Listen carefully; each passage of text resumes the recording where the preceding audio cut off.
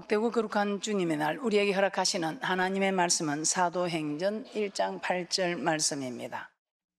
오직 성령이 너에게 임하시면 너희가 권능을 받고 예루살렘과 온 유대와 사마리아와 땅 끝까지 이르러 내 증인이 되리라 하시니라. 예, 성령이 임하면 받는 권능 오늘 여덟 번째 시간입니다. 아, 우리는 계속해서 성령이 임하면 받는 권능들이 무엇인가 정말 귀하고 복된 말씀을 받고 있습니다. 계속해서 우리 하나님이 내가 가야 그가 온다. 이 보혜사 성령이면 너희에게 유익이다. 그래서 우리에게 무엇이 유익인가를 제가 시간 시간 말씀을 드리고 있습니다. 오늘은 어떤 유익이 있는가? 여덟 번째 시간입니다. 성전을 사모하게 된다. 자, 사도행전 2장 46절 말씀 한번 찾아보겠습니다. 사도행전 2장 46절입니다. 오순절 성령 강림 사건을 계기로 시작된 초대교회 성도들 날마다 마음을 같이하여 성전에 모이기를 힘썼습니다. 성전을 사모하기 때문에 사도행전 2장 46절 합독합니다. 시작. 날마다 마음을 같이하여 성전에 모이기를 힘쓰고 집에서 떡을 떼며 기쁨과 순전한 마음으로 음식을 먹고 날마다 성전에 모이기를 힘쓴다. 이 성전을 사모하게 되냐. 성경은 주님의 재림이 가까움을 볼수록 성전에 모이기를 피하는 어떤 사람들의 습관과 같이 하지 말고 더욱 성전에 모이기를 힘쓰라고 히브리서 10장 25절에 말씀하고 있습니다. 히브리서 10장 25절입니다. 왜 마지막이 가까울수록 성전에 모이기를 힘써야 할까요? 히브리서 10장 25절입니다. 합독합니다. 시작. 모이기를 피하는 어떤 사람들의 습관과 같이 하지 말고 오직 그나여 그날이 가까움을 볼수록 더욱 그리하자. 왜? 왜 이렇게 성전에 모이기를 힘쓰라고? 모이기를 피하는 사람들의 그런 일에 가담하지 말고 그런 습관을 따라가지 말고 성전에 모이기를 힘쓰는 왜? 주님이 오시는 일이 가까운 볼수록 더욱 그렇게 해야 된다. 왜 그럴까요? 자, 그 이유는 마태복음 16장 18절에 있습니다. 가이사라 빌립보 지방에 이르렀을 때 예수님의 제자들의 사람들이 나를 누구라 하느냐 이리 물었습니다. 뭐 선지자들은 예레미야나 뭐 선지자 중에 하나입니다. 제자들 대답은 모두 예수님을 실망시키는 대답이었습니다. 그런데 베드로가 뭐라고 합니까? 주는 그리스도시요 살아계신 하나님의 아들이라 고백합니다. 예수님의 마음을 기쁘게 했습니다. 아유나 시몬아 내가 복이 있다. 이를 내게 알기에는 헬육이 아니라 전부 하나님이시다면서 마태복음 16장 18절에 이 말씀을 합니다. 그 고백 위에 내가 교회를 세울 것인데 이 교회는 음부의 근세가 해야지 못하는 곳이다. 그래서 너희는 마지막이 가까우면 가까움을 볼수록 음부의 근세하지 못하는 이 성전으로 모이기를 힘쓰라고 말씀하고 있습니다. 마태복음 16장 18절입니다. 시작. 또 내가 내게 이르노니 너는 베드로라. 내가 이 반석 위에 내 교회를 세우리니 음부의 근세가 이기지 못하리라. 주는 그리스도시여 살아계신 하나님의 아들을 고백한 네 그 고백 위에 내가 교회를 세우는데 이 고백 위에 세우된 이 교회는 음부의 근세가 해하지 못한다. 이 음부의 근세는 사망의 근세를 말씀하고 있습니다. 아담이 범죄함으로 인해 사망이 세상에 들어왔고 그로 인해 마귀는 사망의 세력을 잡은 자라고 히브리서 2장 14절에서는 말씀하고 있습니다. 자, 이 말씀이 무슨 말입니까? 교회 안에 있으면 사망의 세력을 잡은 마귀가 우리를 이기지 못하게 음부의 근세가 이기지 못하게 이 교회는 우리 하나님이 주장하고 있습니다. 교회 중심으로 생각하면 마귀의 공격으로 또 보를 받을 수 있습니다. 그러나 마귀는 성전에 모이기를 힘쓰지 못하게 합니다. 마귀는 성전에 가는 걸 막습니다. 가기 싫게 만듭니다. 그리고 세상에서 함께 하자고 그렇게 유혹합니다. 출애기 8장 25절에서 26절입니다. 혹시 여러분도 교회 오기 싫어지고 세상이 자꾸 그리워지고 아, 저 세상이 얼마나 아름답다 했던가 이런 마음이 있으면 여러분도 하나님께 마음이 있는 자가 아니고 세상 유혹에 넘치는 세상의 마음이 뺏겨 있다는 것입니다. 그걸 마귀가 여러분의 마음을 미혹시켜서 훔쳐가고 있다는 것입니다. 출애기 8장 25절 26절에 우리가 이해되기 좋은 말씀이 나오고 있습니다. 합독합니다. 시작. 바로가 모세와 아론을 불러 이르되 너희는 가서 이 땅에서 너희 하나님께 희생을 드리라. 모세가 가로되 그리하면 불가하니이다. 우리가 우리 하나님 여호와께 희생을 드리는 것은 애굽 사람의 미워하는 바이온즉 우리가 만일 애굽 사람의 목전에서 희생을 드리면 그들이 그것을 미워하여 우리를 돌로 치지 아니하리까. 바로는 뭐라 합니까? 이 땅, 즉 애굽에서 즉 세상에서 희생을 드리라. 그런데 모세는 절대 그리 할 수 없다고 말합니다. 그 이유가 무엇입니까? 야, 우리가 저 애굽 사람의 목전에서 우리가 세상 사람들 앞에서 예배를 드리면 저 희생을 드리면 그들이 우리를 보고 가만 놔두나? 우리를 돌로 치서 죽이지 않겠냐? 이 말이 무슨 말입니까? 세상에서 우리가 희생을 드린다고 세상에 속해 있으면 세상 근세 잡은 자는 누굽니까? 이 세상 근세 잡은 자는 악한 세력입니다. 하나님의 세력이 공중 근세 잡은 게 아니고 마귀의 세력들이 공중 근세를 잡고 있다고 합니다. 그래서 공중 근세 잡은 세상에서 하나님을 섬기고자 하면 공중 근세 잡은 자들이 네가 어디 내 영역에 와서 네가 까불고 있네. 쉽게 말하면 가만두지 않는다 이 말입니다. 저들이 우리를 가만두지 않을 것이다. 왜? 세상에서는 우리가 싸울 도리가 없다 이 말입니다. 그러나 엄부의 건세가 이지 못하는 이 교회에서는 하나님을 섬기도 감히 저들이 엄부의 건세가 하지 못하는 이 성전에서 드리는 예배를 여기서 우리가 하나님을 섬기는 일을 저들이 방해하지는 못한다 이 말입니다. 자, 베드로서 2장 6절에서 8절 말씀 한번 찾아보도록 하겠습니다. 그래서 이 권능을 받으면 자꾸만 성전을 사모하게 되므로 아, 뭐 세상에서 내가 뭐, 뭐 성경집 펼쳐놓고 뭐 예배 드리면 되지, 뭐 기도하면 되지. 꼭 어, 교회가 없는 곳에서 교회를 갈 수 없는 입장에서는 그래 하는 거 하나님도 아실 것입니다. 그런데 교회가 있고 갈 수 있는 입장이 되는데도 그렇게 하는 것은 아니다 이 말입니다. 베드로서 2장 6절에서 8절입니다. 합독합니다. 시작. 소돔과 고모라서는 멸망하기로 정하여 제가 되게 하사 후세에 경건치 아니할 자들에게 본을 삼으셨으며 무법한 자의 음란한 행실을 인하여 고통하는 어려운 롯을 끊지셨으니 이 의인이 저희 중에 그하여 날마다 저 불법한 행실을 보고 들으므로 그 어려운 심령을 상하니라. 이 롯은 어렵다 했습니다. 이 어려운 사람이 어떤 사람입니까? 신명기 6장 25절에서도 여호와의 명령을 지키는 사람이 어렵다. 율법을 듣는 자가 어려운 것이 아니고 율법을 듣고 지키는 자가 어렵다고 합니다. 그러면 이 롯은 지금 말씀을 지키고 있다 이 말입니다. 그런데 말씀을 지키는 어인입니다. 그럼에도 불구하고 이 소돔과 고모라성 정말 세상 가운데 갈 때 저들의 불법한 행실을 보고 들음으로 해서 어려운 심령이 상하였다. 이 말은 자꾸 말씀을 지킬 힘을 잃어갔다 이 말입니다. 어려운 심령을 상했다. 말씀을 지킬 수 있는 어려운 마음이 자꾸 사라지더라 이 말입니다. 아무리 어려운 사람이라도 성정 중심으로 살지 않고 세상 속에 거하면서 불법한 행실을 보고 들으면 어려운 심령이 상하여 즉 마귀의 공격을 받아서 하나님 말씀대로 살기가 어려워진다 이 말입니다. 그 좋은 예가 다윗입니다. 이 다윗이 어떤 사람입니까? 하나님의 전지전능하심을 알고 늘 하나님을 기억하며 살아가는 철저히 기도하고 성전에 올라가기를 기뻐한 얼마나 대단한 사람입니까? 그래서 사도행전 13장 22절에서는 이 다윗을 하나님 마음에 합한 자라고 우리 하나님께서 기록하고 있습니다. 사도행전 13장 22절입니다. 사도행 13장 22절에 우리도 다윗처럼 하나님 마음에 합한 자가 되는 이런 모습들이 되는 축복들이 있으시기를 주님의 이름으로 축복합니다. 사도행전 13장 22절 합독합니다. 시작. 폐하시고 다윗을 왕으로 세우시고 증거하여 가라사대 내가 이세의 아들 다윗을 만나니 내 마음에 합한 사람이라 내 뜻을 다 이루게 하리라 하시더니 하나님 마음에 합한 사람이어서 자기의 뜻을 다 이루게 하시겠다고 한 다윗입니다. 얼마나 대단합니까? 이런 다윗도 나라가 강성해지고 평안해지자 어느 날 다윗의 신앙에 안일함이 엿보이기 시작합니다.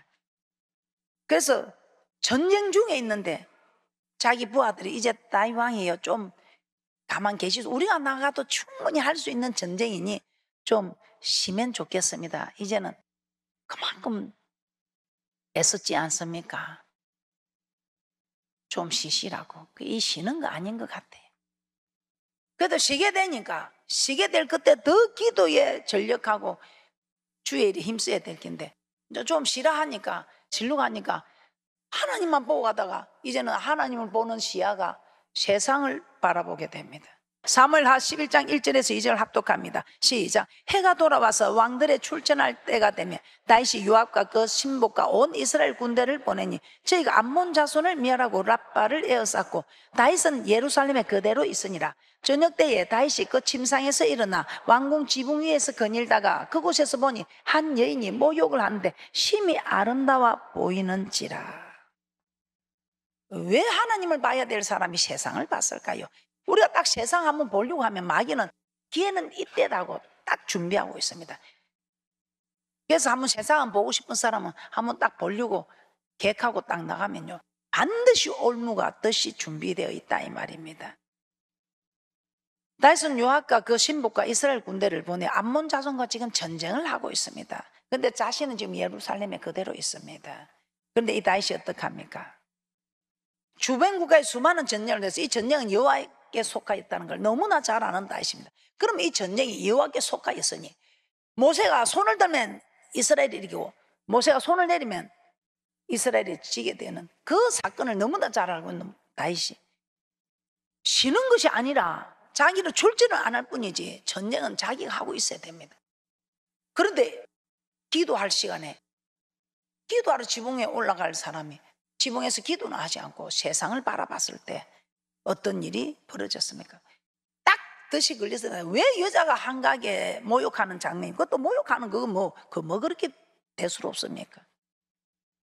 그런데 마귀의 뜻에 걸렸기 때문에 그 모욕하는 모습이 너무 아름다워 보이고 눈에 삼삼거려서 자꾸만 생각이 나는 거예요. 이처럼 온전히 하나님을 섬기는 하나님 마음에 합한 다이도 세상을 보니 유혹을 이기지 못하게 됩니다. 빨리 기도의 자리에 앉아가지고 물리쳐야 될 긴데 누 생각 삼삼해가고 자꾸 생각이 나는 거예요. 그는 어떻게 해서 그 여자가 누군가 한번 알아봐라. 그래 알아보니 알아보면 이제 어떻게 되겠어요? 유혹을 이기지 못하는 일이네. 결국은 그 여인을 탐하다가 그 남편 우리 아가 걸리니까 그 남편까지 죽이는 살인까지 하는 죄를 저지르게 됩니다. 여러분이 다이처럼 꼭 대보고 내도 정신 차리기를 하는 사람은 어쩔 수 없지만 우리는 성경을 통해서 아 일이 되면 일이 되는구나 하는 걸 아시고 세상 보지 마시고 성정 중심으로 살아가는 날마다 모이기를 힘쓰는 귀한 분들이 되시기를 주님의 이름으로 축복합니다. 이 성령이 임하면 우리에게 유익이 또 왜 유익인가? 성전을 사모하게 하는 것입니다. 왜 우리 하나님 우리를 성전에 사모하게 할까요? 이 성전에 하나님은 우리를 만나 주신다고 합니다. 오늘처럼 말씀을 통해서 우리를 만나 주시고 우리가 기도할 때에 우리를 가까이 하사 우리를 만나 주신다 이 말입니다. 그래서 오늘 우리가 이 성전을 사모하게 하는 이유는 무엇인가? 이어서 기도할 수 있게 하시려. 이 성령의 권능이 임하면 기도할 수 있게 하신다. 그래서 기도할 수 있게 된다. 로마서 8장 26절에서 27절 한번 보도록 하겠습니다. 로마서 8장 26절 27절까지 합독합니다. 시작. 이와 같이 성령도 우리 연약함을 도우시나니 우리가 마땅히 빌 바를 알지 못하나 오직 성령이 말할 수 없는 단식으로 우리를 위하여 친히 강구하시느니라. 마음을 감찰하시는 이가 성령의 생각을 아시나니 이는 성령이 하나님의 뜻대로 성도를 위하여 강구하심이니라. 아시겠습니까? 그래도 방언 기도를 하지 않겠다고요? 입을 닫고 있겠다고요? 한번 해봐요.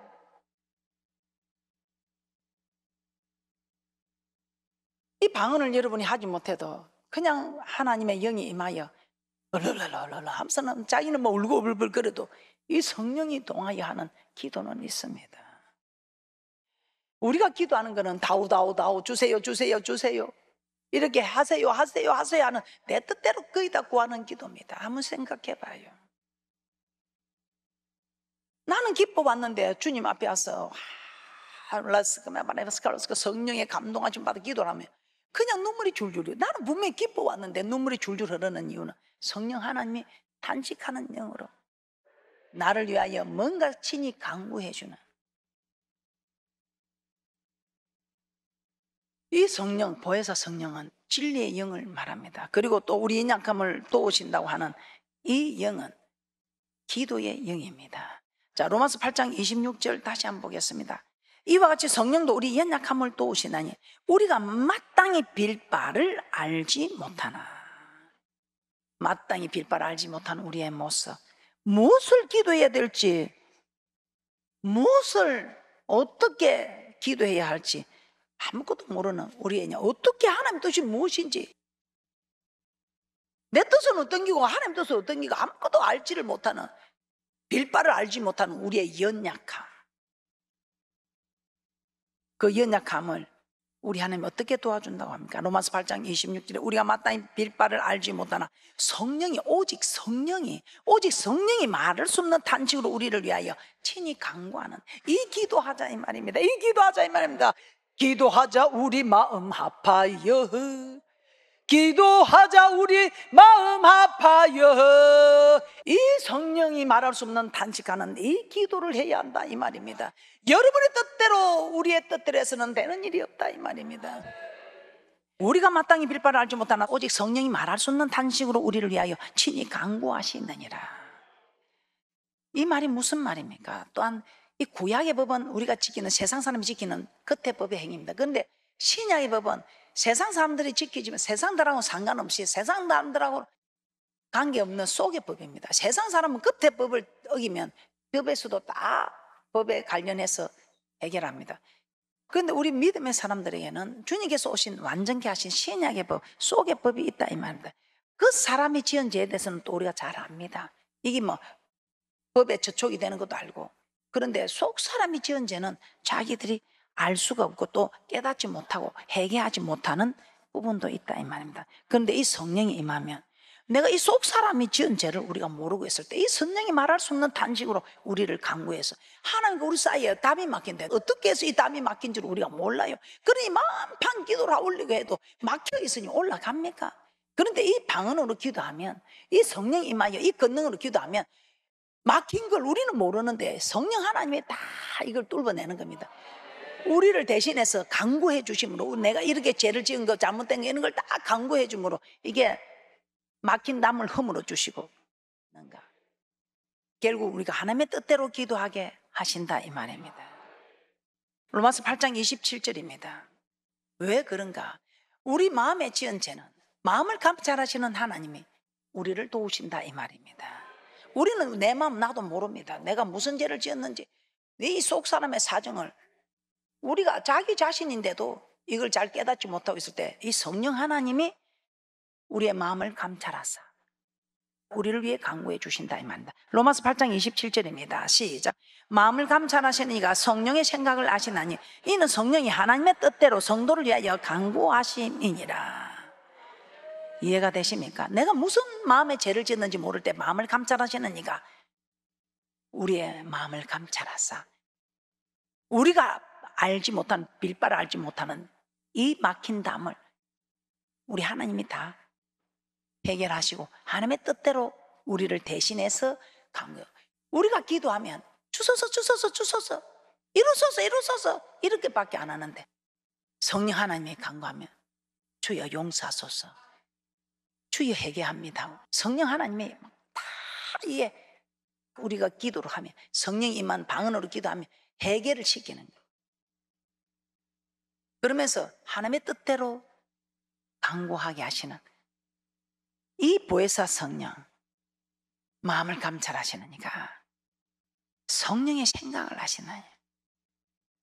성령 하나님 뜻대로 성도를 위하여 강구하게 하는 사도행전에 기록된 네 번의 성령 세례 받는 사건을 통해서 우리는 성령 세례를 받으면 성령이 말하게 하심을 따라 말하는 방언, 성령이 말하게 하심을 따라 하는 기도, 기도의 영, 방언, 텅서, 텅서. 이 방언을 말해야 됩니다. 이 방언은 사람에게 하는 것이 아닙니다. 우리의 영으로 하나님께 비밀을 말하기 때문에 알아들을 자가 없다는 것입니다. 악한 세력들이 알아들으려고 해도 오직 하나님께 하는 기도이기 때문에 알아들을 자가 없다 이 말입니다. 자, 고린도전서 14장 2절입니다. 고린도전서 14장 2절입니다. 방언을 말하는 자는 사람에게 하지 아니하고 하나님께 하나니 이는 알아듣는 자가 없고 그 영으로 비밀을 말함이라. 성령이 임하는 권능을 받아서 기도하는 영 방언으로 기도하며 알아듣는 자가 없고 그 영으로 하나님께만 비밀을 말하기 때문에 알아들을 자가 없다 방해 할 수가 없다 이 말입니다. 자 그리고 고린도서 14장 14절에서는 이렇게 말하고 있습니다. 고린도서 14장 14절 합독합니다. 시작. 내가 만일 방언으로 기도하면 나의 영이 기도하겠냐 나의 마음은 열매를 맺히지 못하리라. 방언으로 기도하면 내 영이 기도하는데 이 마음은 아, 내가 무슨 기도했는지 잘 모르겠다 이 말. 나는 무슨 죄를 지었는지도 모르겠다. 마음으로 하는 기도는 모르겠다. 마음으로는 모르겠다네. 이걸 마음을 감찰하시는 이가 성령의 생각을 하시나니 성령이 말할 수 없는 단식으로 우리를 위해서 친히 강구해 주는 마음판 기도해도 하나님과 우리 사이 막혀 있으면 기도가 올라가요? 아니다 이 말. 그래서 여러분들은 성령을 받고 권능을 입어 성령 하나님이 말할 수 없는 단식 우리를 위해서 말할 수 없는 단식으로 모든 것이 합력하여 선을 이루는 하나님의 뜻대로 강구해 주는 그런 귀한 분들이 되시기를 주님의 이름으로 축복합니다. 성경은 하나님의 사정을 하나님의 영 외에는 아무도 알지 못한다고 말씀하고 있습니다. 하나님의 사정 하나님의 영에는 알지 못하고 사람의 사정을 사람의 속에 있는 영 외에는 누가 알겠느냐 이 말입니다. 고린도서 2장 10절에서 11절 말씀 한번 보도록 하겠습니다. 고린도전서 2장 10절에서 11절 합독합니다. 시작. 오직 하나님의 성령으로 이것을 우리에게 보이셔서니 성령 모든 것 곧 하나님의 깊은 것이라도 통달하시느니라. 사람의 사정을 사람의 속에 있는 영 외에는 누가 알리요? 이와 같이 하나님의 사정도 하나님의 영 외에는 아무도 알지 못하느니라. 우리는 연약하게 마땅히 빌바를 알지 못하는데 방언으로 기도하면 성령께서 친히 우리의 영으로 더불어 우리의 사정을 하나님의 뜻대로 뜻에 합당하도록 강구해 주신다 이 말입니다. 그래서 하나님께서 성령을 우리에게 부어 주실 때에 많은 은사들 가운데 방언을 말아야 하는 것은 성령께서 친히 우리의 연약함을 도우사 우리를 위하여 강구하게 하기 위함이라는 것입니다. 그래서 성령을 받으면 막 기도하고 싶은 겁니다. 제자들도 마찬가지입니다. 한 시간, 한 시간을 깨어서 나를 위해서 기도하는 그한 시도 깨어서 기도 못 합니다. 근데 이 제자들이 성령을 받고 나니까 어떻게 기도합니까? 성령을 받은 후에는 전혀 기도하기를 힘썼다고 사도행전 2장 42절에 말씀하고 있습니다. 사도행 2장 42절입니다. 저희가 사도의 가르침을 받아 서로 교제하며 떡을 떼며 기도하기를 전혀 힘쓰니라. 한 시간도 기도 못한 그들이 이 성령을 받고 권능을 받으니 전혀 기도에 힘썼다고 합니다. 그리고 어떻게 합니까? 그들이 야, 우리는 이제 말씀 보고 기도하는 일에 전무하자. 그러니까 우리가 이제 뭐 구제하러 가고 뭐 하는 이런 일은 좀 신실한 집사를 하고 우리는 말씀과 기도하는 일에 전무하자. 이렇게 말씀한다. 사도행전 6장 2절 4절입니다. 사도행전 6장 2절 4절입니다. 그만큼 이제 기도의 영이 임하니 한시도 깨어서 기도하지 못하는 그 예수님 제자들이 전혀 기도에 힘쓰는 사람으로 바뀌어서 기도하고 말씀 보고 기도하는 일을 우리는 전무해야 하니 이제 너희들이 좀 이런 일을 하라. 사도행전 6장 2절 4절입니다. 시작. 열두 사도가 모든 제자를 불러 이르되 우리가 하나님의 말씀을 제쳐놓고 공개를 일삼는 것이 마땅치 아니하니 형제들아 너희 가운데서 성령과 지혜가 충만하여 칭찬 넣는 사람 일곱을 택하라. 우리가 이 일을 저희에게 맡기고 우리는 기도하는 것과 말씀 전하는 것을 전무하리라 하니. 이만큼 우리 하나님께서는 이 성령을 받으면 권능이 임하고 기도할 수 있게 하시는 그런 유익을 우리에게 허락하셨다 이 말입니다. 성령을 받으면 이런 권능이 입혀지는. 그래서 우리 주님이 내가 가야 그가 온다. 또 다른 보혜사를 내가 보내줄 테니 그 보혜사가 와야 너에게 유익이다. 나하고 있는 것보다 이 보혜사 성령이 와야 너희들이 나하고 있어도 할 수 없는 일을 이 보혜사 성령이 너희를 도와주므로 너희가 무엇이든지 할 수 있다. 어떤 좁은 길도 갈 수 있다. 어떤 말씀도 즐길 수 있다. 땅 끝까지 주의 정인도 될 수 있다고 이 큰 축복의 말씀을 이 복되고 거룩한 주님의 날 우리에게 허락해 주신다 이 말입니다. 얼마나 감사합니까? 성령을 받으며 임하는 권능에 대해서 계속 말씀을 드리도록 하겠습니다.